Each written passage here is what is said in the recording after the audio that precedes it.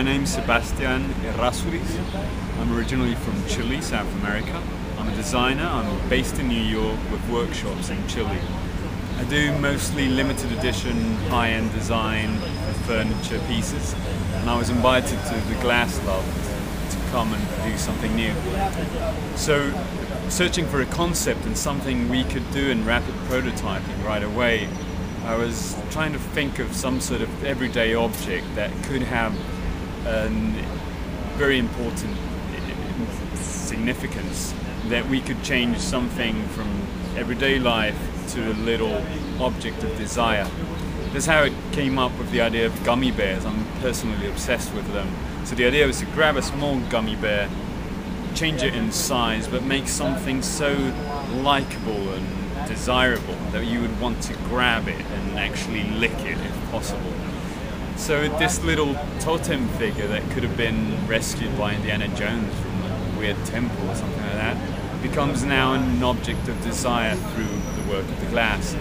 The glass in itself, because of its transparency, its smoothness and so on, looks very much like candy. So uh, the experience for me was a completely new one. I had only done furniture pieces, big glass furniture pieces in molds and complete different process in glass. So uh, I actually got a very good experience. I was able to learn a lot. Uh, the team here is incredible.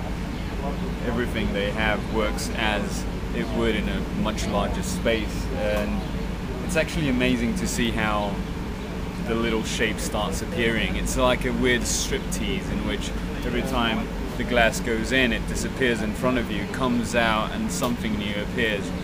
Maybe it's the nose, the eyes, and little by little you start finally figuring out the whole uh, idea. I really would recommend the experience, and it's, it's, I think it's also important to get designers to know a bit more of some of the procedures they can do. Maybe start thinking of new ideas, new products, new objects that can be created in glass. For me, it was a great experience. I would totally recommend it.